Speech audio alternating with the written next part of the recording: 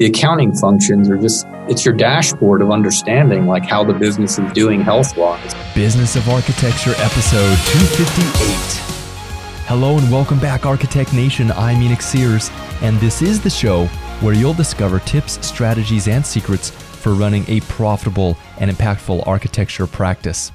If you haven't already head on over to freearchitectgift.com to get instant access to my free four part architecture firm profit map Enter your best email address on that page, and you'll get instant access.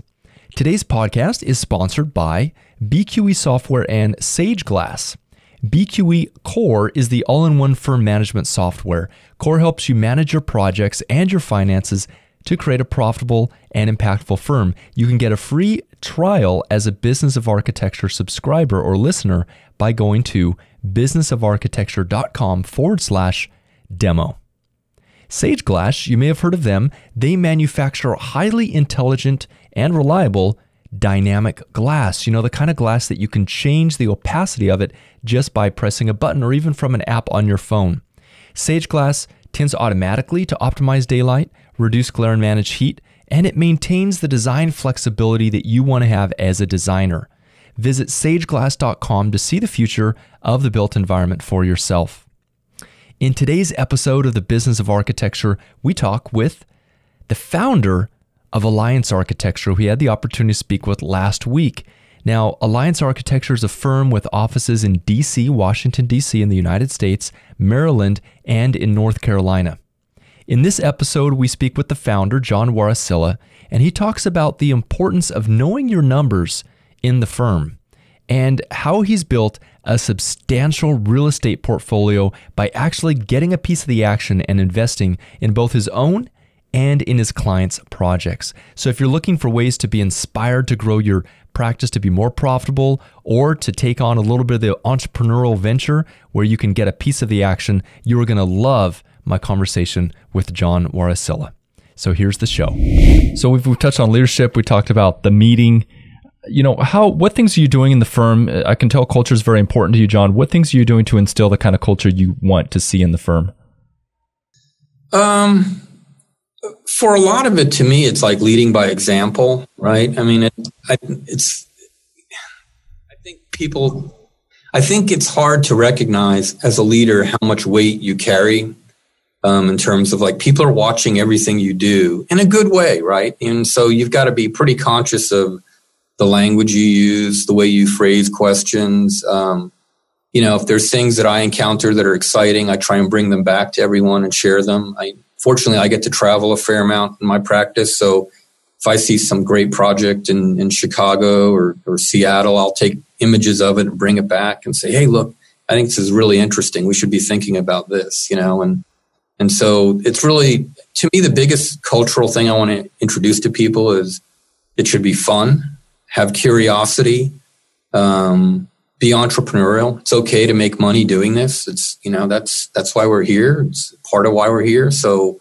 you know don't you know don't be afraid to take chances either. Like I really love when people will come to me with you know hey I have a friend that I think is going to open a restaurant. You know what do you think about that? And to me that discussion off is isn't so much about design. It's about like what I've learned about working with people who are great restaurateurs. You know just you know you're trying to get people involved in business in that it's not this foreign like bad thing but it's like it, it, it can be really fun and productive and, and rewarding so.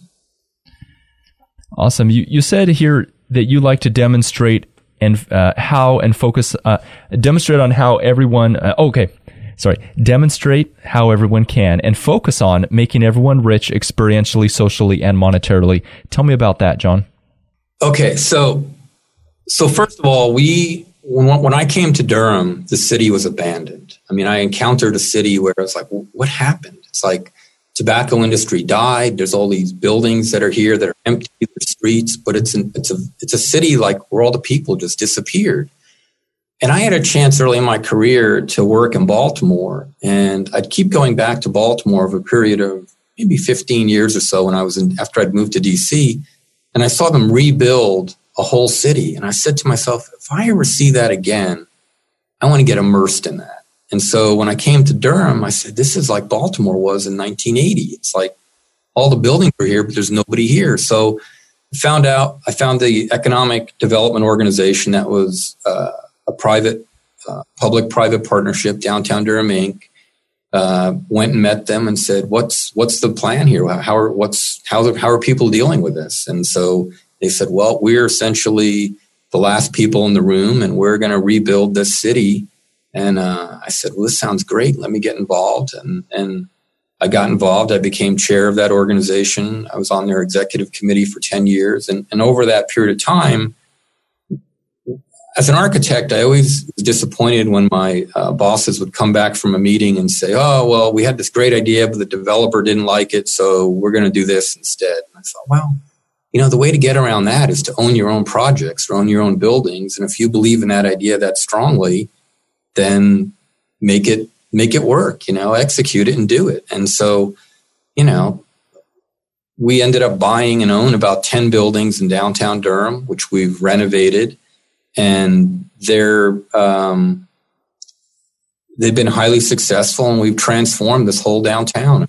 Really key part of rebuilding the city, and that's where I mean by leading by example, right? It's and and that I've tried to show the people in our office, like, look, you can get paid as an architect, but you can make a lot a lot of money as well, you know, investing in your projects. So we pretty consciously also look for project opportunities where the developer or the owner is open to us, you know, saying, look, we would, we, we would like to invest in this project as well, not just as culturally in terms of designers, but we'll, you know, we'll write a check into this. We want a stake in this. And I want my people to, to, to also have a culture of like stakeholding, right? You know, get involved, you know, so. So what does that conversation look like? I mean, say I'm an investor and and we're thinking about hiring you guys for architects. You guys come to us and you say, "Hey, yeah, we'd we'd like to get be partners in this." You know, are we talking? Tell me about the typical arrangements. How could an architect who's thinking about that make that happen? Uh, well, generally, the way that's happened is you ask, right? Like, you know, are you looking for further investment in this project? You know, and a lot of times people would say, "Sure," you know, and and for a lot of our clients too, that on the development side, it's very powerful for them to be able to say, well, our architects are stakeholders in this too. You know, it's like it, it's all of a sudden everyone in the room has a lot more credibility because you're not just hired as like a, a consultant. You're no, you're in it. You're in this game, and and you want to have a great outcome for everybody. So, um, and and people in my office have you know often they're now looking at hey, are there, you know, what neighborhoods would you look at to start to buy houses in? Where do you think the opportunities are in that? And so it's it's definitely taking root. I mean, those people are definitely thinking in terms of things beyond just coming in and doing a set of drawings. They're about how do you, how do you build a life in this that's also a business and a career. So. Give me a good example of a project like that that you invested in so we can talk about that. Well, so a really good project that uh, we in well, one we're actively involved in now is in East Durham. It's an old, it's the last textile campus in Durham being redeveloped. LRC, who is a large developer out of New York, uh, we'd worked with them in a project in Raleigh, and they they came across this project and they called and they said, "Do you know this property?" And I said, "Yes, absolutely, I know that property." And uh, they said, "Would you meet us there and look at it with us?" And we went and looked at it, and they said, "What do you think?" I said, "I think this is." an opportunity to transform this entire east side of town. I mean, this this can be the anchor that catalyzes the entire neighborhood around it.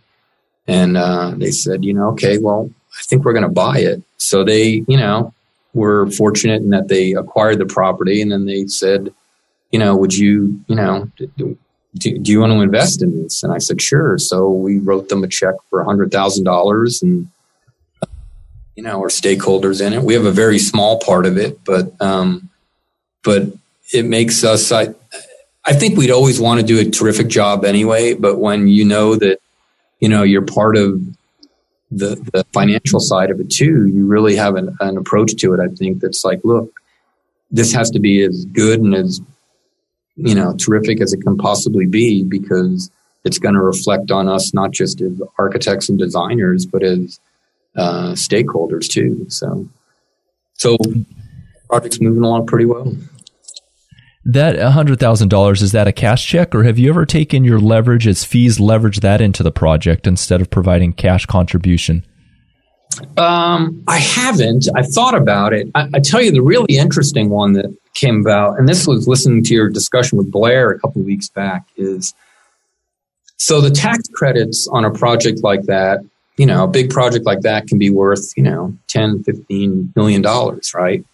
And I know how to do that really well. So instead of getting paid as an architect hourly to produce you know, whatever documentation package it takes to do that. I'm really intrigued with the idea of saying, look, we'll we'll get you the tax credits on this, and in exchange, we want five percent of the value the tax credits you know generate. And in that context, the numbers are really terrific. And what's terrific about it is the tax credits are kind of made up money, right? It's not like someone's writing a check. Down the line, people are writing checks for it, but in the beginning it's really about understanding how to do a tax credit project and seeing the value in it and then lining up, you know, the process to do that. And, getting a percentage of that to me is a lot stronger than getting paid a fee to just deliver the documents to do that. So that's pretty awesome. Uh, here in my notes, it says that you 2005 developed and invested in eight buildings forming a neighborhood. Tell me, was that your first project that you uh, invested in? Uh, it is, and really, it wasn't all at once. It was we bought the building. Well, so really simple economic tool for an architect, I think, on the building you're in, right? You pay and so it's a really way, simple way to get started because it's cash flow and money that you're already going to have. So you know, find a building that you can put your office in that you can renovate you also get to create your own place in terms of design. You also get to create an identity for your company that people will see. So it, it scores on so many different places. But the first building we bought was a building uh, that we ended up putting our office in. The building next door had had a fire in it, so it was leaking into our building. So we ended up acquiring that. Two people heard that there's two guys stupid enough in Durham to be buying buildings call them because they might buy your building. So people were like consciously getting rid of buildings in Durham at that point. So we looked up after two or three years and realized we owned the whole neighborhood. And it wasn't like we had some big master plan to do that. But once we owned it, we were like, well, if we're going to be on this street, we should at least build the kind of street we want to live on and work on. And so we got to work with that. So what we would do is we acquired about eight or 10 buildings pretty quickly over a two or three year period. And every time we would like slow down in the architectural practice, we'd say, okay, let's, let's renovate this building this year. So, you know, we sort of did a building a year for about 10 years. And, and now about two years ago, we finished off the last of them. Um, have a you know terrific little portfolio of real estate as well as the architectural practice. So. Were those buildings already? Did they have some tenants in them? Were they producing income? Oh, they really weren't. I mean, they technically did both, but they were pretty worthless. I mean, they were, you know, pretty tired businesses.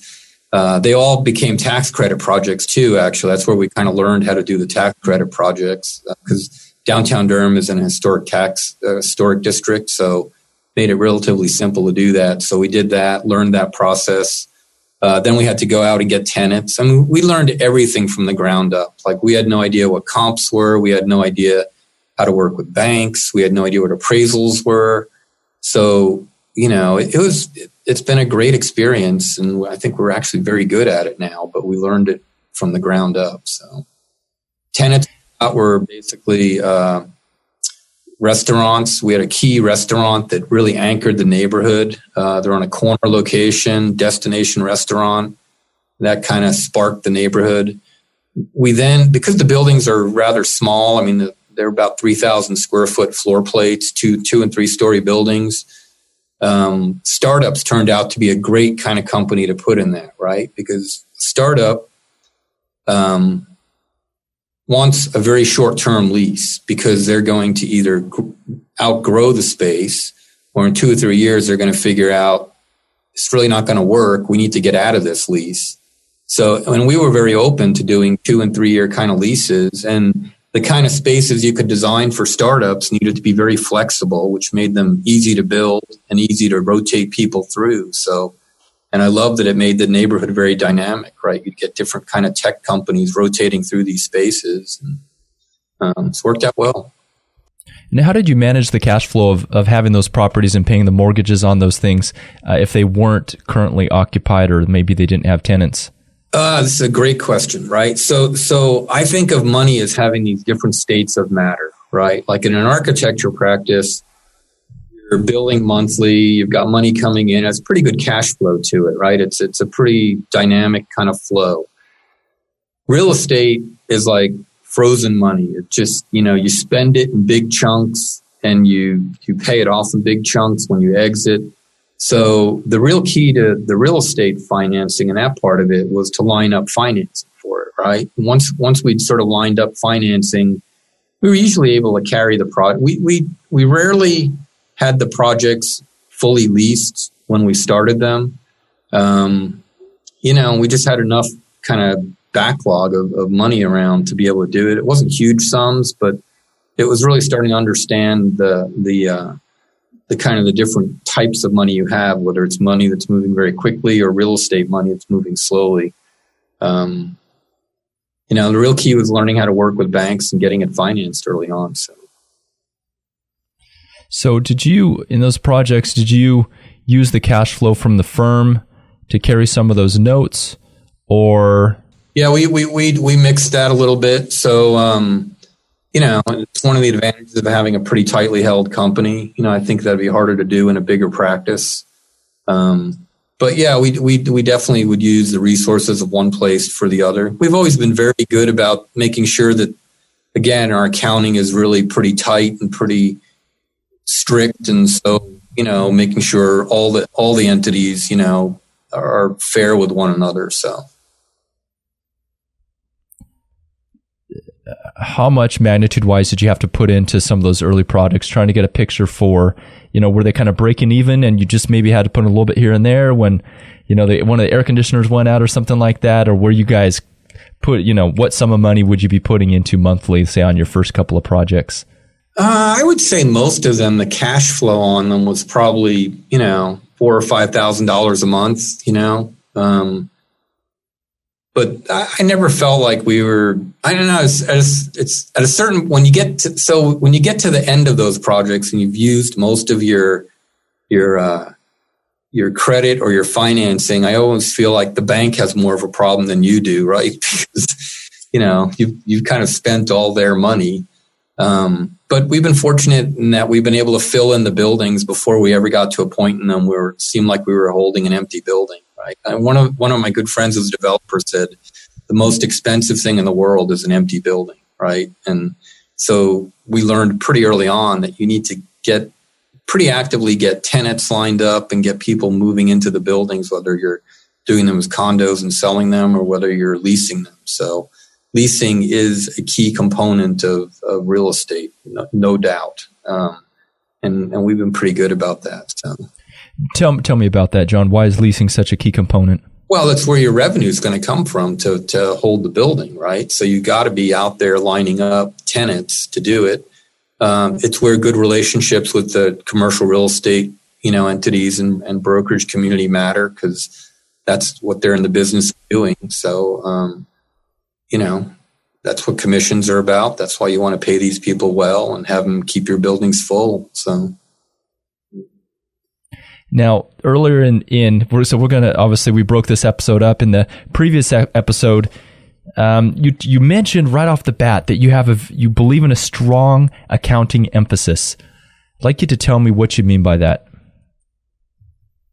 Well, I, I think, and I, we our firm a lot of times too, right? Like the, the, and I, it's funny. I was just at the AA convention. Everyone in the room, this room of 200 people, talked about no one wants to fill out timesheets you know? So you just need to get people built into a culture where look if you can't if you can't build this there's no revenue for the company to work. So you know you want people to make sure they're doing the basics of that but then the accounting functions are just it's it's your it's your it's your dashboard of understanding like how the business is doing health wise and it's if you do it well over a long period of time, you can start to see trends in it and look at the patterns in it and say, wow, we're spending a lot more money on business development this year. Why is that? Um, you know, rent for us has always been a great place to be able to park money because of the real estate interests we have, right? So let's say the architecture business is not as busy, but you know, your your real estate stuff's all pretty stable. You could say, well, let's let's give the architecture firm a break on rent for three months so that we can you know, mm-hmm. go hire another person or go buy a plotter or whatever. So, and you won't know to do those things unless you have good accounting to, to understand them from. So it's funny. I never think of myself as like an accounting person. My dad's a physicist. So I just think I look at math as math and it's just another tool to, to work with. So it's, it's just a handy thing to know about. So what reports are you looking at to get a picture of the finances of the business? Uh, I look at a I look at an AR report probably weekly. I look at uh, our uh, P and L, same kind of routine. I look at our balance sheet. The balance sheet usually is less important. I mean, that's more of a quarterly or yearly kind of thing. But P and L and and AR reports I look at pretty constantly. you asked earlier about how we deal with things. So for years, I would deal with the AR report, and I'd say, you know what? Everyone needs to know about this. So I kind of pushed that out to everyone as like, you know, you know, and we sort of call it dialing for dollars. If our AR report gets kind of out of whack, I say, okay, we're gonna Monday is gonna be dialing for dollars. Let's find out what's going on here. And and I I bet nine times out of ten, what we find out is that somebody didn't get an invoice or it went to the wrong desk or whatever. It's rarely that people are like in financial trouble and they're not going to pay you or there's some big disconnect it's usually something didn't get to the right place. And, uh, you know, and, and so we try and stay on top of that pretty well. you mentioned also you, you kind of keep your, your thumb on the business development pipeline. What are other important metrics, if any, that you're monitoring, John? Um, I don't know that I, I measure it, but uh, one thing I have observed is uh, as a business has gone on is the expense of software in the practice today. And, and my observation on that is we're writing pretty big checks for software. And the, a lot of the software companies have changed their model for that, where you used to be able to buy software and use it for three years. Well, now they're subscription based. So that's, that's an expense that's really crept up. Um, and I, I've also observed in it too that profession, we're becoming almost beholden to the software, right? You're sort of, as people standardize on different platforms, um, one in particular, I'm observing like it, it's now having, in my opinion, a, a much larger and outscaled influence into the way people put projects and drawings and everything together than I've ever seen before. And I don't know that it's good or bad. It's certainly different, right? It puts the weight of where you put your time on a project in different places. Um, so that's one I observe, you know, and, and, really that kind of flows up through accounting, right? You ask like, you know, what does accounting do for you? It's like when you start to see how much you're spending on software versus what you used to and say, wow, there's something different here. What is that? So. Yeah. So, John, just to wrap up here, what what is a question that I haven't asked you that you think would be valuable for other firm owners that are looking to have a more fulfilling, scalable, profitable practice? I think one we didn't talk about was uh, the idea and design of designing for behaviors. Right? How do you how do you begin design places that really begin to transform how a company works, how it builds culture? Um, and, and we describe that as kind of thinking more as anthropologists, right? Where you're really trying to understand, like, how do people really use a place? How do they use the space? How can a company, when they move from one place to another, use that as a strategic opportunity to rethink, well, if I had a new footprint to do this in, what would that place be? You know? And, and I would encourage people to really think about their buildings from how people are going to experience them, use them, and, and use them as strategic business tools. I think there's a huge opportunity. So, and when you say strategic business tool, what do you mean by that, John? Well, so let, us say a company uh, uh, is going to, so, some of the companies we've worked with have grown over time. They've spread out in two or three buildings, and now they have a real estate decision coming up, right? They're going to move to a new place. They can take a step back and say, okay, we have a chance to really think about what it is as a business we want to accomplish in the next five to 10 years. What are the big business goals? And then we can design a building or a place that'll help support those, right? I think a lot of companies often make the mistake of taking what they were doing and just, you know, well, we think we're going to grow by 10% and just extrapolate that out. And I think they've missed a huge opportunity to step back and think strategically about you know what they want to do. And we as architects how can we help them use design to get there? So that that's what i mean by that. So give me an example of how you might use design to help a company achieve something like that. Well so we worked with an ad agency here a couple years ago mckinney that uh, was spread out over three or four floors. They moved from raleigh to durham into an old tobacco warehouse and they they consciously in the beginning of that project said we want this to be a destination workplace. We want people when they walk in the door to say, this is a place I want to work in. Um, the other thing we did is we said, you know, we think the wire, the impact of a wireless world is going to transform the workplace and how would that change the way we work, right? If you could work anywhere in this building at any time, how would that change? So we really integrated, you know, different office settings, different venues, coffee areas, food, uh, roof decks into that design and did that very consciously up front. You know, it was really thinking about like how technology would impact the workplace and designing that into it. Um, so. Awesome. Yeah. Well, John, it's, it's been a pleasure having you on the show today. Thank, you fun. for sharing your insights with us. A lot of fun. So keep it up. Great work. Thanks, John. All right. And that's a wrap. To discover more about the process for creating a better firm with less fires and more fun, go to businessofarchitecture.com forward slash freedom webinar.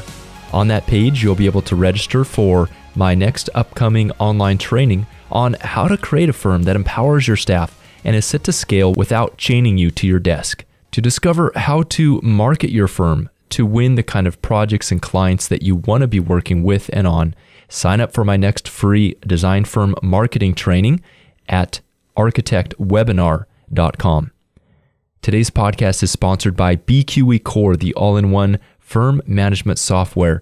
Core helps you manage your projects and your finances both in the office and on the go with a beautiful and easy to use mobile app. Get a free trial at businessofarchitecture.com forward slash demo. The views expressed on the show by my guests do not represent those of the host, and I make no representation, promise, guarantee, pledge, warranty, contract, bond, or commitment except to help you conquer the world.